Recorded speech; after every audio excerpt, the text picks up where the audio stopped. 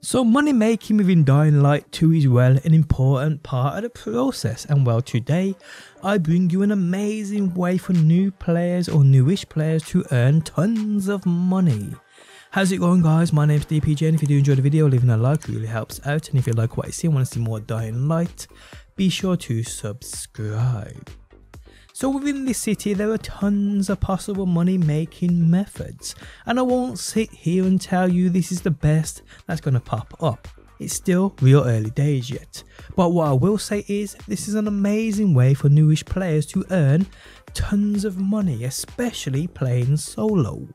Okay so on the map as you can see right here is the large windmill.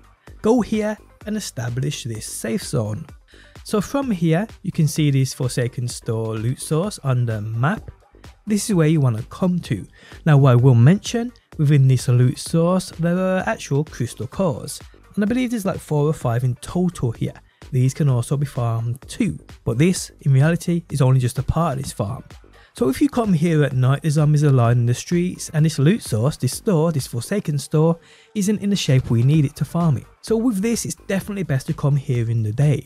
All you need to do is make sure you have a weapon. Doesn't have to be anything major, just make sure you have a weapon. So make your way here from that windmill.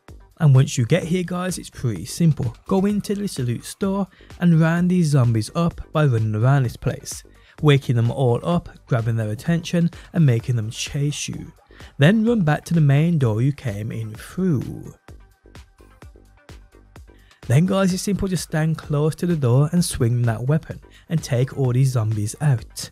Now there are tons of zombies here, 20 plus maybe. Like I said at night time there's barely any in here, they're all outside, so if you come outside of this door at night, you'll get ambushed by zombies on the streets. So coming here in the day, rounding them up like this, then clearing them all out from outside of the door is super super simple. Once you've done that, simply go back and loot all the bodies. Now these drop money, materials, etc etc etc.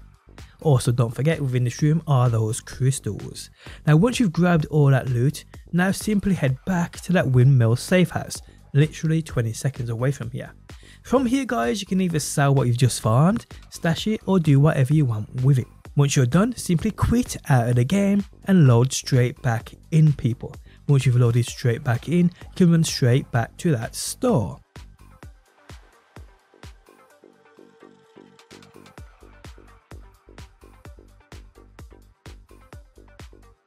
And guess what? Yes, all the zombies will have respawned and you can repeat the process.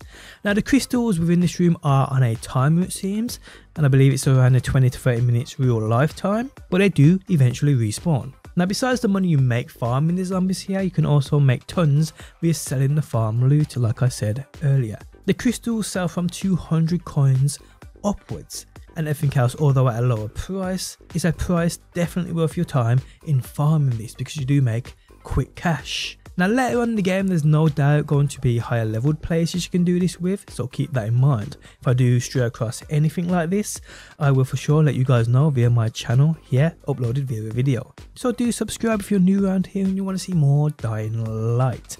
Also guys join my discord or tweet at me if you found something interesting that you want to share with the world. Both are linked below.